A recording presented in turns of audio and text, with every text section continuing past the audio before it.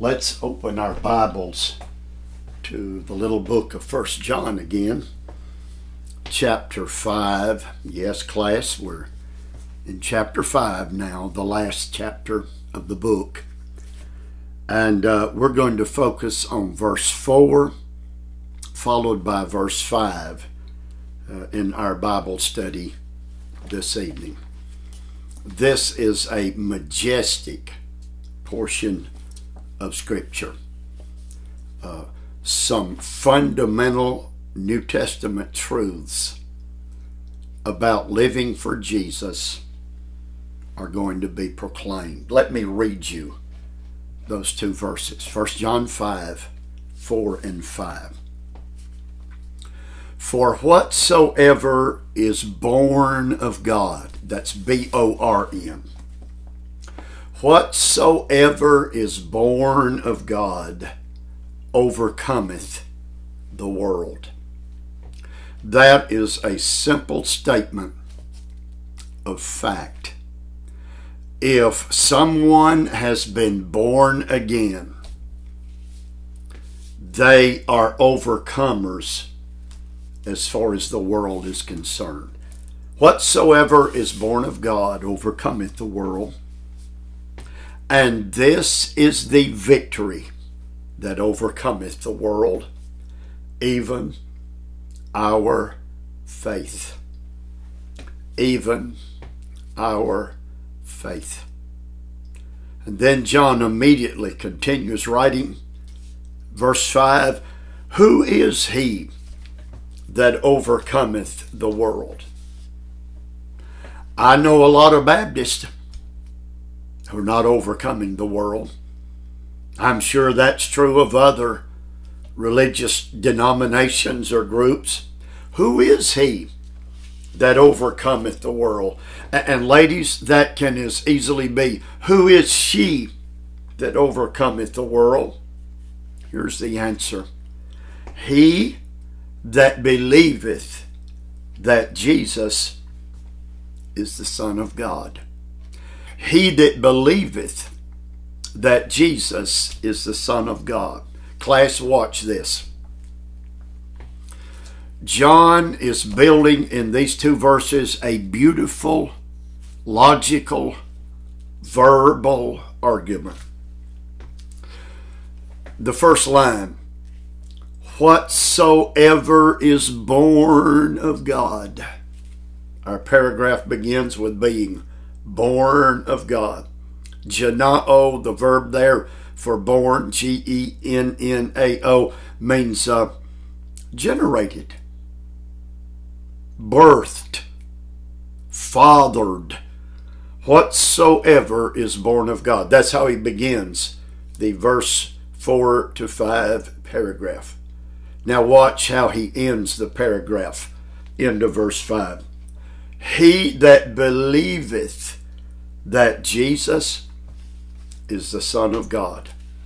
He buttresses the middle of our section of Scripture, our text for tonight. Born of God, believes that Jesus is the Son of God. Two statements of faith or two statements of fact that will get you to heaven when you die.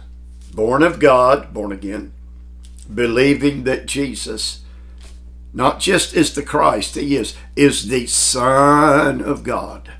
Those are, it's like John is building a delicious sandwich for us to spiritually enjoy. Those are the two pieces of bread. Born of God, believes that Jesus is the Son of God. Now look at the meat.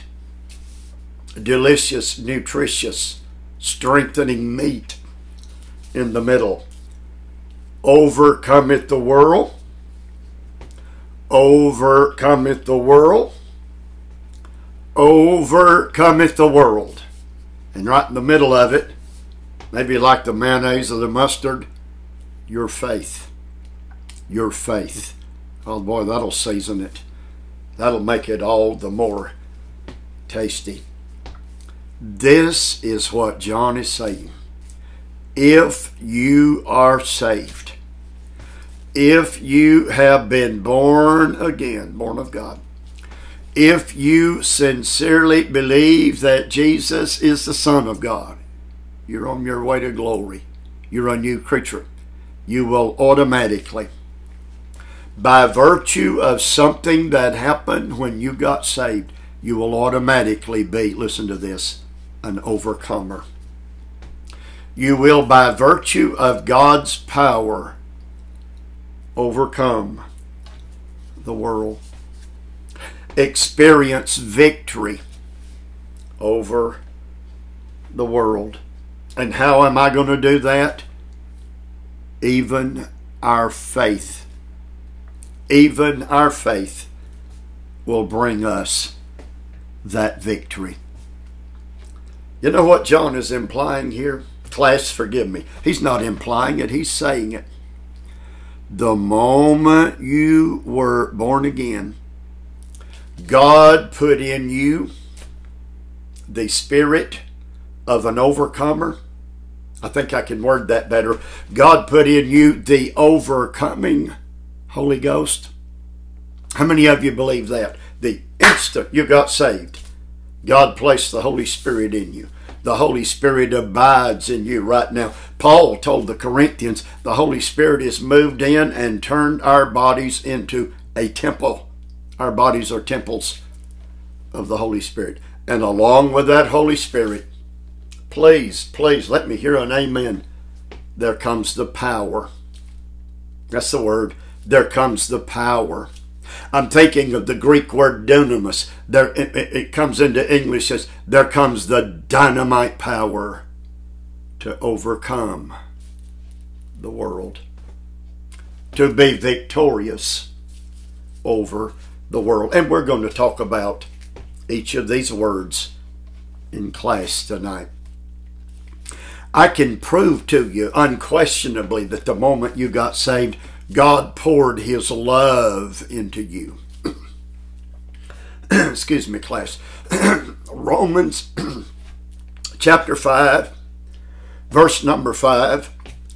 When God justified me, he, he allowed the Holy Ghost to pour out, to pour forth, the King James, to shed abroad in our hearts the love of God. If you're saved, you've got the love of God in you. If you're saved, you're aware how much He loved you. He sent His Son to die for you, and you're aware that reciprocally you're loving Him with all your heart. And by the way, because I love Him and He loves me, I will love His other children. We've studied that. I'm just saying that the same way God poured love into our hearts, we're loving Him. God poured power and strength into our hearts, and we are overcomers. We are victorious over the world. Whatsoever is born of God. Several things I need to show you in that clause. Whatsoever, I checked. It's P A S, POS. Uh, it, it, it is a it, it is a word that means all or every, but here for some reason it is in the neuter gender. I think, meaning this whatever soul is saved, whatever soul is born of God. We are men, we are women, we're male, we're female, of course. God created us that way. But now I think He's talking about our individual souls. Whatsoever my soul got saved, my soul got born again is born of God. Gennao, the verb born, generated, parented, fathered, uh, born of God. It is a perfect tense, perfect tense verb. It's a perfect participle.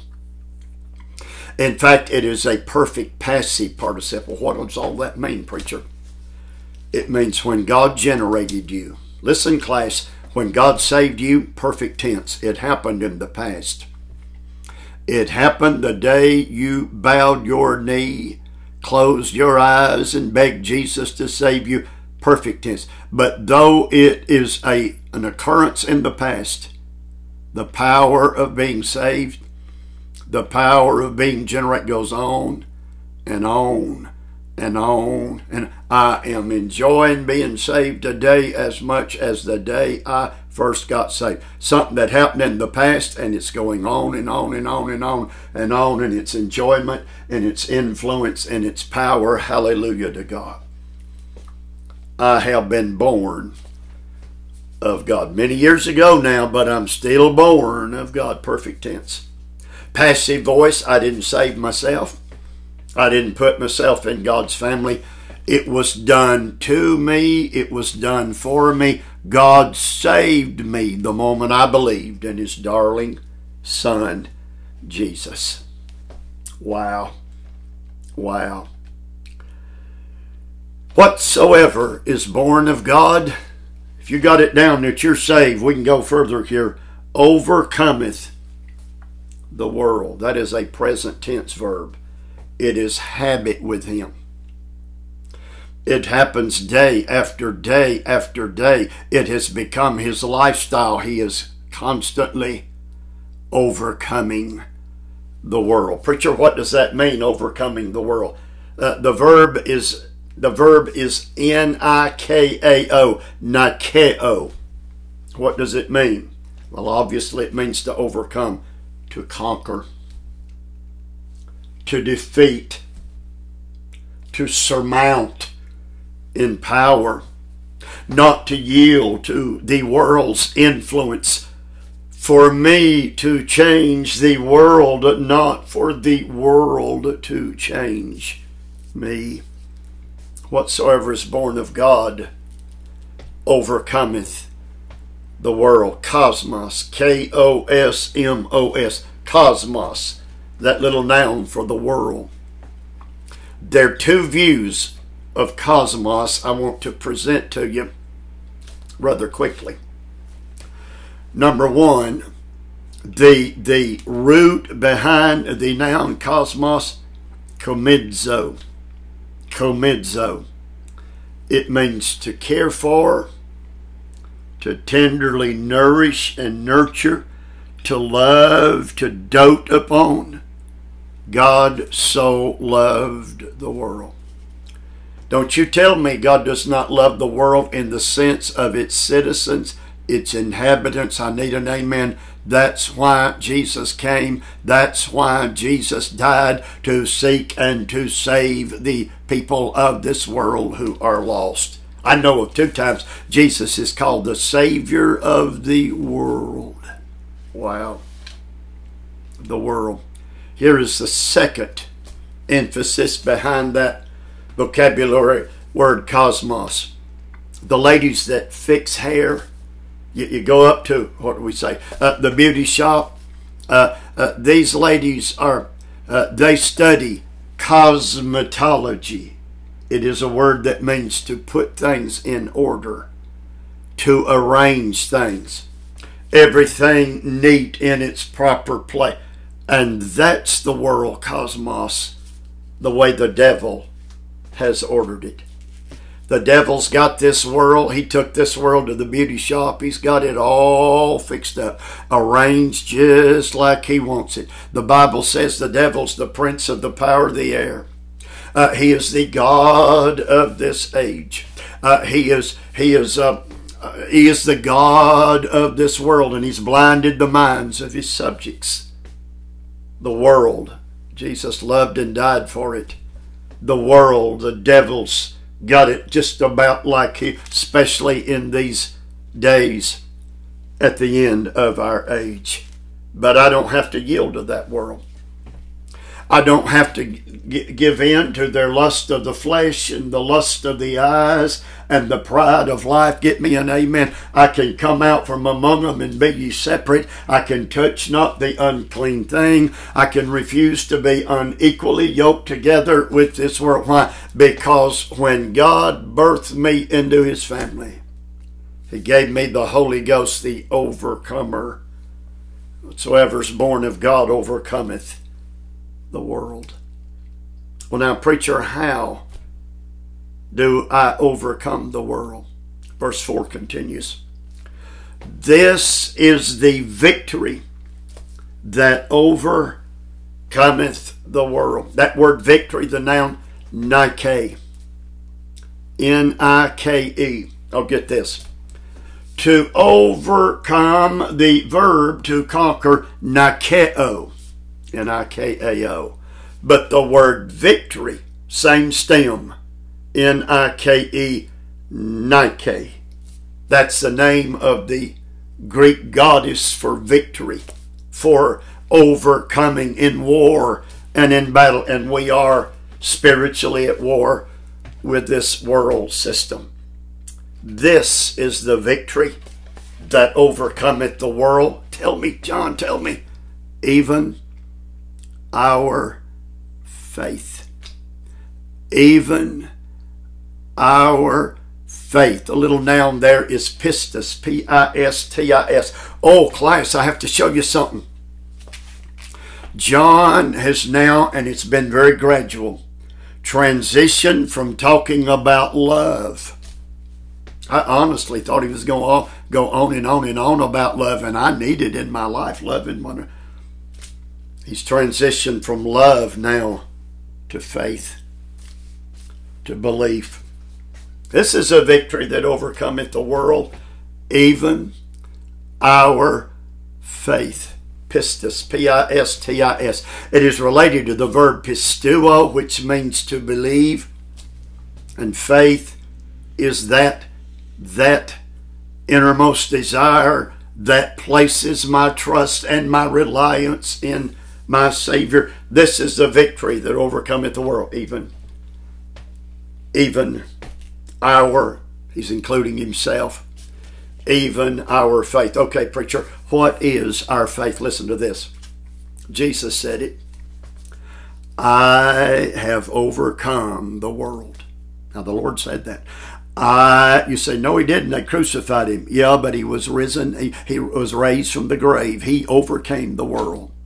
I have overcome the world. Now, here's my faith I'm a Christian. I'm in Christ Jesus. The Holy Ghost that motivated Jesus is the Holy Ghost who motivates me. So, because Jesus was an overcomer, here's my faith I can be an overcomer. Here's another way that my faith overcomes the world faith cometh by hearing, and hearing by the word of God, Romans 10 17. The more I study that book, the more I ingest that book, the more I memorize that book, the more I obey that book, the more I meditate on that book, the more I obsess over that book, the more I spend time day and night when I'm traveling, when I'm sitting, when I'm laying in my bed, in that when I'm meditating on it at midnight in the night. What the the more my faith grows, and the more my faith grows, this book will pin the world to the wall. It'll tell me this world is lost. This world is going to hell. This world's going to pass away. And it'll tell me that the will of God, not the will of the world, must prevail in my life. Even our faith. The more you love Jesus, the better you commune with Jesus, the more you'll overcome the world. The more you're in that book, learn that book. I've gone through the litany of verbs the more you will overcome the world. Verse 5, verse 5. Who is he that overcometh the world? Can you name for me? Can you identify me? And Nikeo again, uh, that is a present participle. That you say, boy, uh, three weeks and one day ago I overcame the world. Now the world defeated me all last week. No, no, no. This is a present participle. Who is he that constantly keeps on day in and day out overcoming the world? That's not to say we might not slip. That's not to say we might not have a weak moment in sin and then have to confess our sins and trust Jesus and He will be faithful and just to forgive us. But the overall tendency, who is He? Who is she that overcometh the world? Who is this person who refuses to act like the world and talk like the world and behave like the world and uh, go the places of the world and and uh, enjoy the themes of who is it who is who is he that overcometh the world? Here it is. He that believeth. He that believeth. Again that's a present participle I believed yesterday. I'm believing today. It is in my heart. It'll happen. Holy Ghost is inside. I'll believe and believe and believe and believe and believe and believe until the day I step out in glory. And then my belief becomes sight. I'll know and I'll know and I'll know. Hallelujah. The things of God. He that believeth that Jesus, that's Jesus who is God come in human flesh. That Jesus that's the Jesus the angel said who will save his people from their sins. That Jesus is, is. The verb is Eimi, E-I-M-I. It is a present tense verb. He is right now the Son of God. And you know what?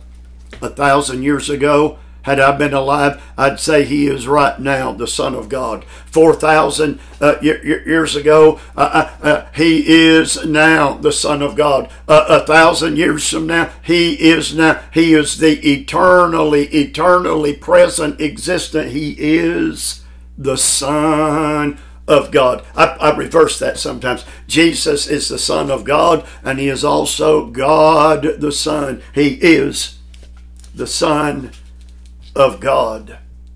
Now, when John often has been talking about me as a child of God or you, class, as a son of God, uh, he uses the word teknon.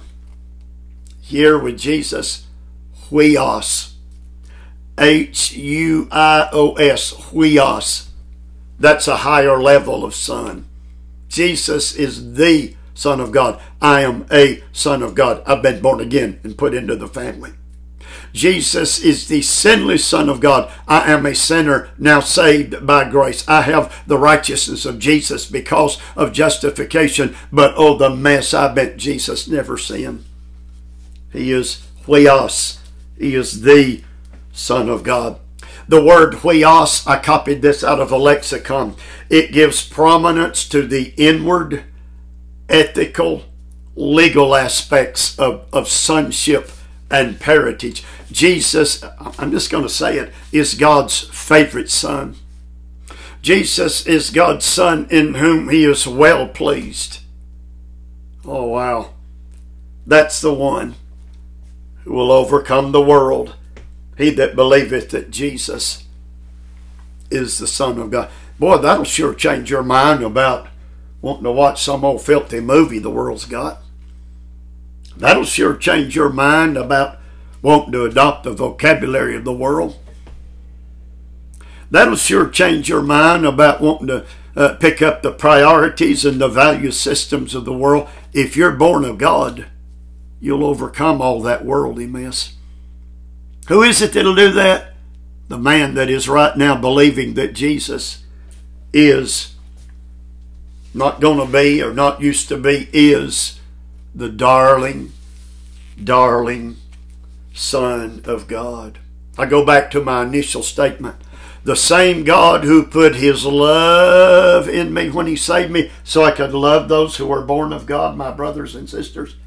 That is the same God who put his power in me the moment he saved me. Power to whip, to defeat, to overcome the world. He even gave me the armor to wear.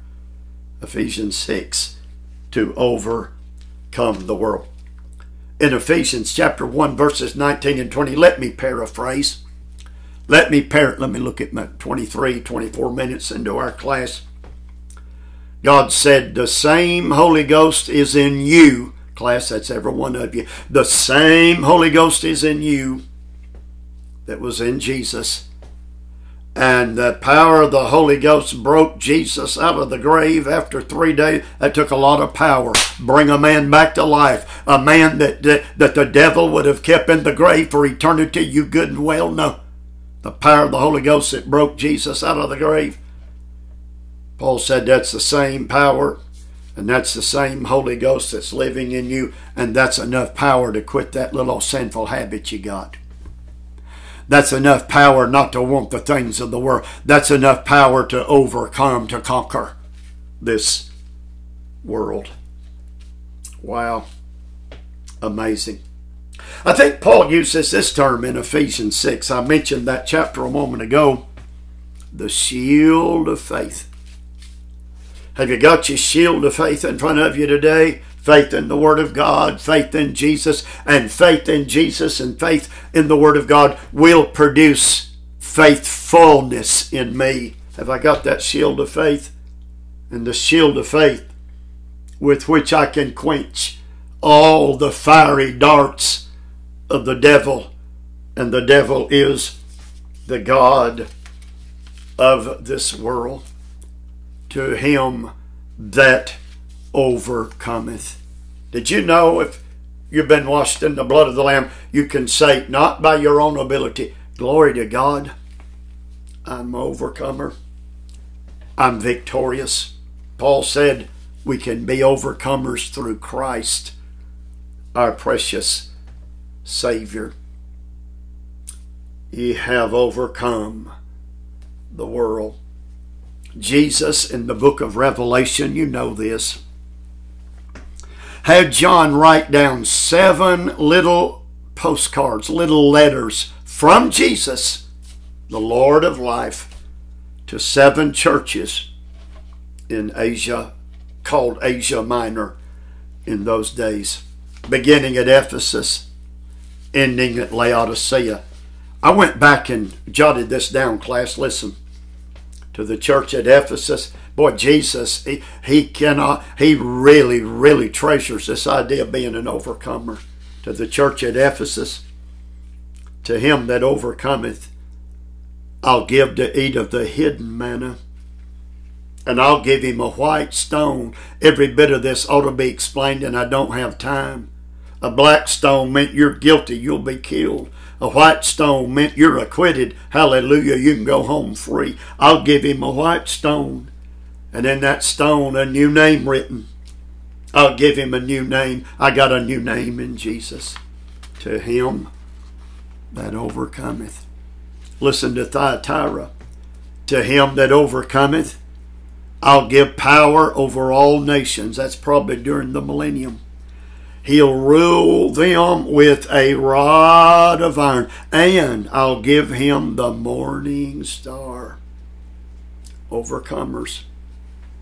This is the victory that overcometh the world, even our faith. Sardis, church at Sardis, to him that overcometh, I'll clothe him with white raiment I'll clothe him with, and I'll confess his name before my Father and his angels. Philadelphia, given to earthquakes. That whole city destroyed again and again by earthquake. To him, Philadelphia, the church, to him that overcometh, I'll make him a pillar. The earthquake won't shake him. In the temple of my God. He'll know he'll go no more in and out where earthquakes you're running out of your house. You can go back in, it's safe. You run out. He'll no more run in and out. I'll write on him the name of my God. The name of my God. Even Laodicea. I don't know if I read them all. Even Laodicea. Laodicea. Jesus knocking to get into to him that overcometh.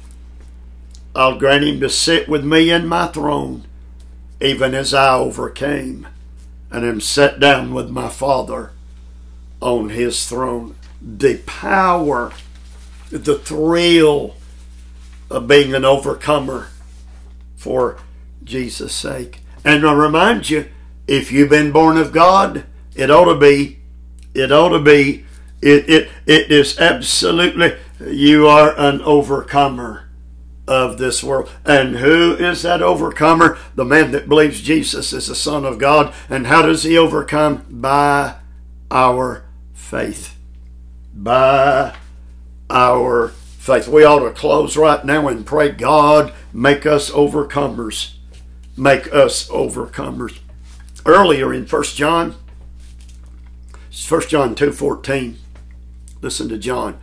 I write unto you, young men. Remember, we had that lesson on stages of spiritual growth. I write unto you, young men, because you're strong. Young men, robust in the faith. And the Word of God abides in you, and ye have overcome. Ye have overcome the wicked one. John says if you've been saved, we're all overcomers of the world. John's making us all into stout, robust, not weaklings, not doubters, uh, warriors in the faith for the glory of an almighty God. And, and notice, notice whatsoever, whosoever. John is not singling out an elite group. If you have been washed in the blood, you are an overcomer, as Jesus was and is an overcomer. Oh, well, I have time. Maybe I can squeeze this in. You, class member, and Jesus. Brother Bagwell, you saved? I sure am saved. You and Jesus. Listen to this. All in First John. If we walk in the light as he is in the light, we have fellowship one with another. If we walk in the light as he is in the light. 1 John 2 6. He that saith he abides in the Lord Jesus ought to walk even as Jesus walked. I'm in the light whew, as he is. I ought to walk even as he walked. And then 1 John 4 17. Just had it a few lessons ago. Herein is our love made mature. Herein is our love made uh, perfect, that we may have boldness in the day of judgment. Oh, I enjoyed that class because as He is, so are we in this world. Did you hear that? As He is, He's victorious. So are we in this world. We are, that's faith. We are in Christ Jesus. Walk in the light as He is in the light. I can walk, study, obey, live even as He walked. And because as He is, so are we in this world. Hallelujah. We are overcomers. Here's faith. How can you overcome the world? Even by our faith. Here's faith. The verses, Ephesians chapter 2, verse 6. Paul said, if you're saved, class, get this. It's life changing. If you're saved, God has already raised you up together, and He has made us all to sit right now in heavenly places in Christ. You know why I overcome the world? I'm not a citizen of this world. I, am a stranger. I'm a pilgrim. I'm just passing through. I don't belong here. I'm already seated in heavenly places in Christ Jesus our Lord the emphasis has certainly shifted to belief and to faith here now in First John. Uh, here's a statistic. Let me share it with you. John uses the verb to believe very often in all of his writings, but we're talking First John. John uses the word believe 10 times in First John. Ten times in these five little chapters. That is a lot of emphasis on belief.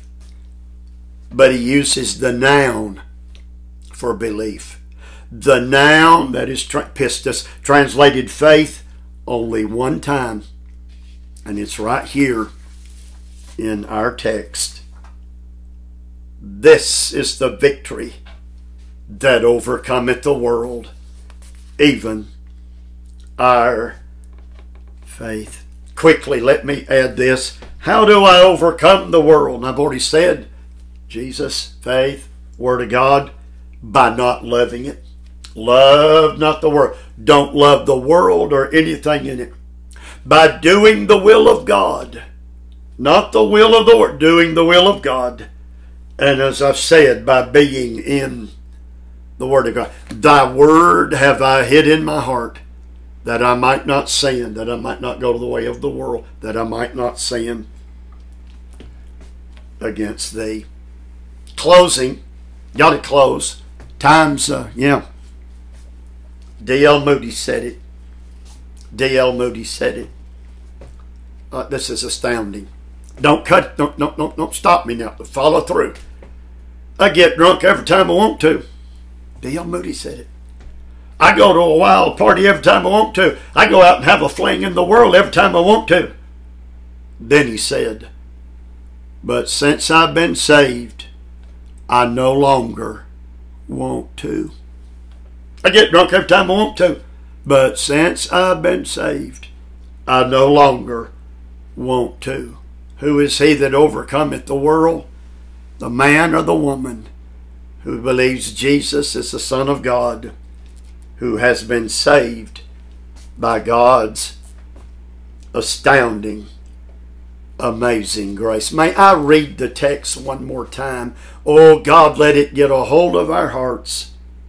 Whatsoever is born of God overcomes the world. This is the victory that overcomes the world, our faith. And who is he that overcomes the world? But he that believeth that Jesus is the Son of God. Something that worries me. We're living in the most worldly age in our churches that I have ever seen. That's worrisome because I just read if you're really saved, you will overcome the world. Lord, make us greater overcomers. Strengthen us, and then may we obey the Holy Ghost who will not lead us into the world, but will lead us into the will of God. In Jesus' name I pray and ask it. Amen. Class, meet us again. Every other night we study. We'll go on into verse 6 and 7, the rest of the way into chapter 5.